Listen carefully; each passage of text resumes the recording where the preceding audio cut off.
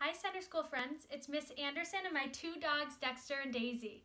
I'm so excited tonight because I get to read Twas the Night Before Christmas by Clement Clarke Moore. I hope you enjoy. Twas the Night Before Christmas by Clement Clarke Moore. Twas the night before Christmas. Twas the night before Christmas when all through the house not a creature was stirring, not even a mouse. The stockings were hung by the chimney with care, in hopes that St. Nicholas soon would be there. The children were nestled all snug in their beds, while visions of sugar plums danced in their heads. And Mamma in her kerchief and I in my cap had just settled down for a long winter's nap.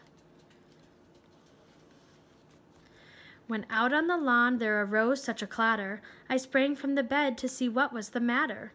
Away to the window I flew like a flash, tore open the shutters, and threw up the sash.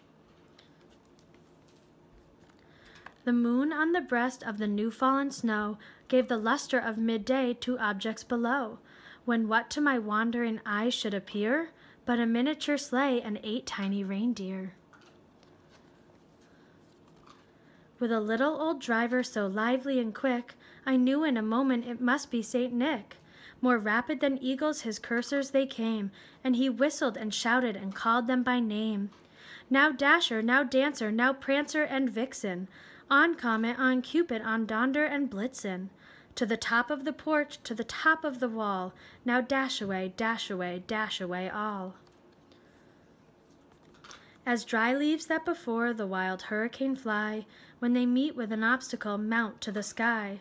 So up to the housetop the coursers they flew, with the sleigh full of toys and St. Nicholas too.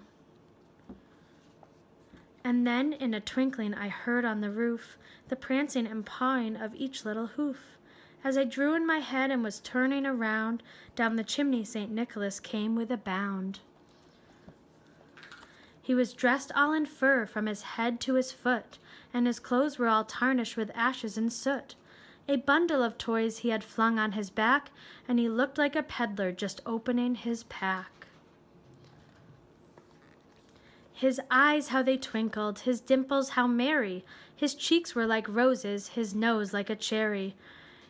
His droll little mouth was drawn up like a bow, and the beard of his chin was as white as the snow.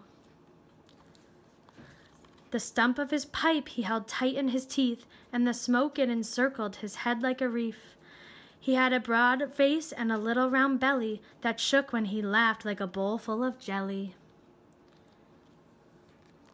He was chubby and plump, a right jolly old elf, and I laughed when I saw him in spite of myself. A wink of his eye and a twist of his head soon gave me to know I had nothing to dread.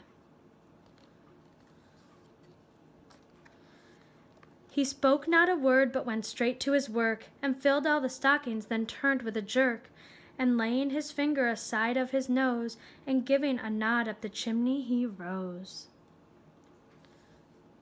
He sprang to his sleigh, to his team gave a whistle, and away they all flew like the down of a thistle. But I heard him exclaim as he drove out of sight, Happy Christmas to all, and to all a good night girls. I hope you enjoyed the story. Happy holidays, and we'll see you in 2018.